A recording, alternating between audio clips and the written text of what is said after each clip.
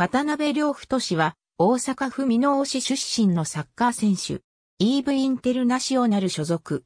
ポジションはミッドフィールダー2002年にアルビレックス新潟のサテライト的な位置づけとして誕生したジャパンサッカーカレッジに加入。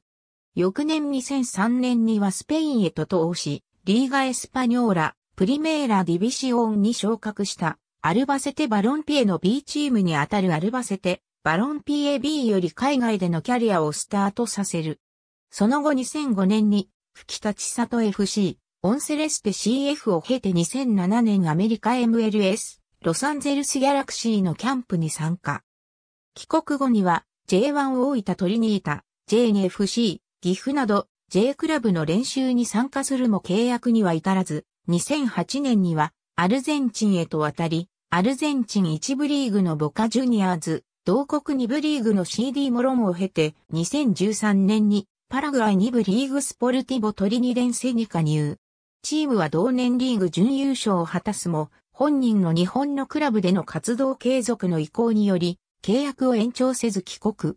翌年2014年より、鹿児島県に誕生した鹿児島ユナイテッド FC に加入。2015年限りで契約満了により鹿児島を退団。2016年には宮崎県のテゲバジャーロ宮崎に移籍加入もプレシーズン期間を経て退団、現役引退。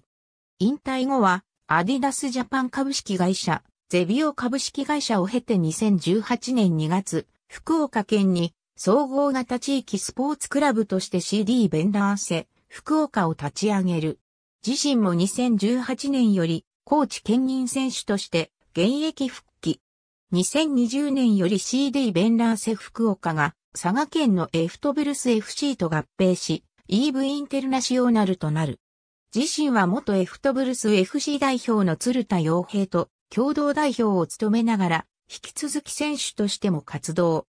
チームは、スファ第1回佐賀県社会人サッカー選手権大会優勝に続き、スファ第25回佐賀県サッカー選手権大会も聖橋天皇杯 JFA 第100回全日本サッカー選手権大会に出場。ありがとうございます。